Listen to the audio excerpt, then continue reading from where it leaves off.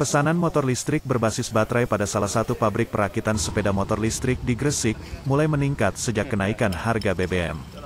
Meningkatnya minat masyarakat pada motor listrik seiring dengan himbauan pemerintah Provinsi Jawa Timur yang secara bertahap akan beralih dari kendaraan konvensional ke kendaraan listrik berbasis baterai yang lebih ramah lingkungan dan juga irit.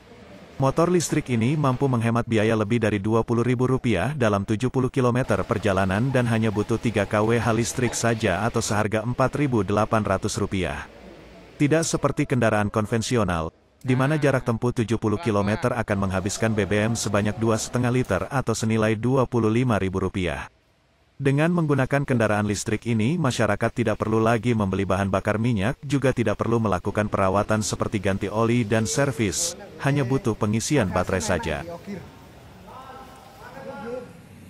Sementara itu, dampak kenaikan BBM kini mulai dirasakan seluruh dealer mobil bekas di Kabupaten Jombang.